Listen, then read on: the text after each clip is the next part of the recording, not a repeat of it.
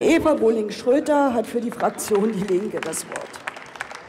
Ja, sehr verehrte Frau Präsidentin, liebe Kolleginnen und Kollegen! Minister Gabriel hat recht, wenn er sagt, wir müssen ehrlich miteinander reden, wir müssen das feststellen. Und er hat ja festgestellt, dass dieses Hohe Haus das 40 Prozent Reduktionsziel, CO2-Reduktionsziel bekräftigt hat. Darüber diskutieren wir ja schon lange. Auch in der letzten Legislatur wurde dieses Ziel ja schon so festgestellt. Und natürlich hängt es auch an den Zertifikaten. Und die Linke hat vor einigen Jahren schon festgestellt, dass der Zertifikathandel gescheitert ist. Und wenn wir uns jetzt die Preise anschauen, dann kann man natürlich sagen, er ist gescheitert. Außer man würde Backloading betreiben. Backloading heißt, dass die überschüssigen Zertifikate rausgenommen werden, heißt aber auch, dass sie dann nicht mehr in Verkehr gebracht werden, auch nicht 2020, sondern dass die dann weg sind und dadurch natürlich weniger CO2 ausgestoßen werden kann und dann die Preise steigen. Und die Preise sollen ja nicht steigen, weil irgendjemand das Geld einhamstern will, wie immer behauptet wird, sondern um neue Investitionen zu rekrutieren. Und das wäre sinnvoll. Auf europäischer Ebene findet jetzt das, äh, keine Gegenliebe zum großen Teil. Da sind auch Länder dabei, die Angst haben vor weiterer Arbeitslosigkeit, wie zum Beispiel Griechenland, wie Spanien. Und das ist natürlich auch Politik dieser EU, die ganz andere Dinge verfolgt hat. Und das hat natürlich auch Auswirkungen. Arbeitslosigkeit, Schulden in diesen Ländern durch die EU verfolgt. Und da beißt sich die Katze in den Schwanz. So, zu diesem 40-Prozent-Ziel fehlt ja noch was. Kollege Lemmel hat es angesprochen die Gebäudedämmung, die energetische Sanierung. Und ich fordere jetzt die Kontrahenten auf, sich endlich hier einig zu werden. Denn das ist dringend notwendig.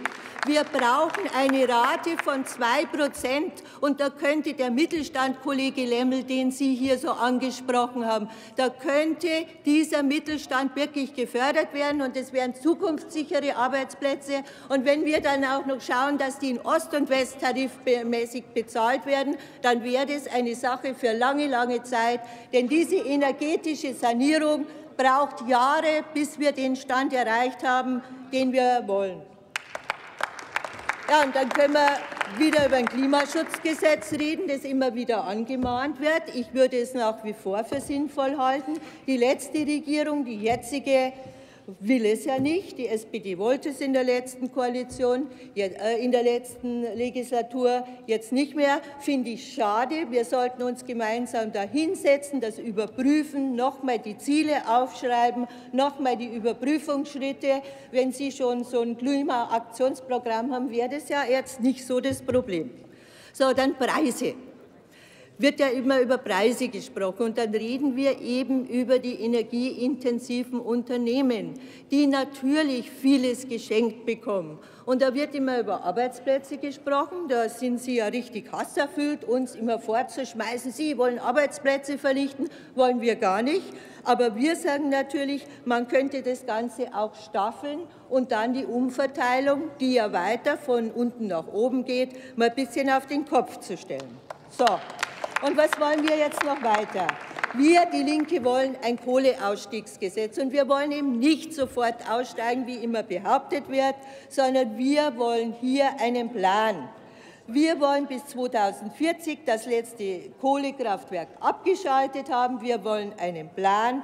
Wir wollen, dass die Kilowattstunden, so wie bei den AKWs, von den alten auf die neuen übertragen werden können. Effizienzbenchmarks in drei Jahresschritten überprüft werden. Und da sind wir nämlich bei dem Thema Arbeitsplätze. Alle Unternehmen sagen uns in allen Debatten, die Politik muss so sein, dass wir uns darauf verlassen können, dass wir planen können. Und hier wäre dann die Möglichkeit zu planen, zu sagen, wir machen eine Strukturpolitik. Und ich bin doch die Letzte, die das nicht versteht. Ich war vor meiner Zeit im Bundestag Betriebsrätin und ich weiß, wie es Kolleginnen und Kollegen geht, die entlassen werden.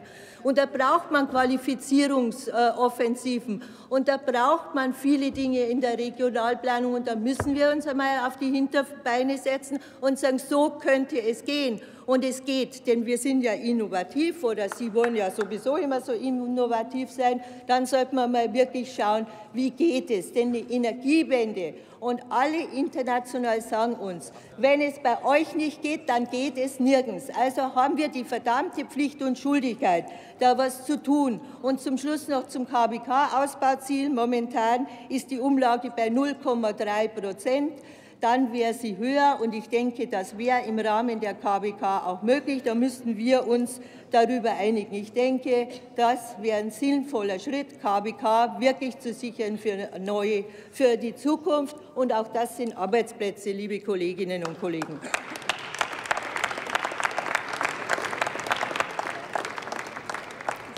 Der Kollege Hubertus Heil hat für die SPD-Fraktion das Wort.